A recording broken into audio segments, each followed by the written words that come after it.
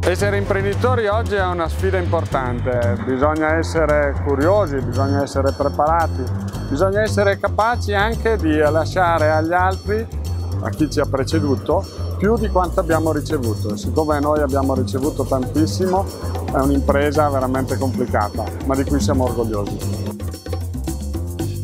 Gli ingredienti del successo di EPTA sono naturalmente le sue persone, ma anche la curiosità che queste persone hanno ed anche la preparazione. Io dico sempre che per prendere il treno bisogna essere in stazione.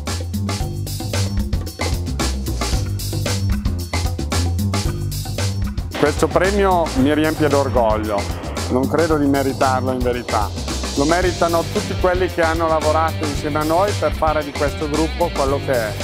L'immagine, il simbolo di una capacità del territorio, di una capacità delle persone e di una voglia di fare che caratterizza l'Italia. Tra dieci anni noi vogliamo diventare più grandi, più presenti nel mondo, ma anche capaci di portare soluzioni innovative, di essere di riferimento, di essere sostenibili e anche di contribuire al territorio e all'evoluzione delle persone che ci sono.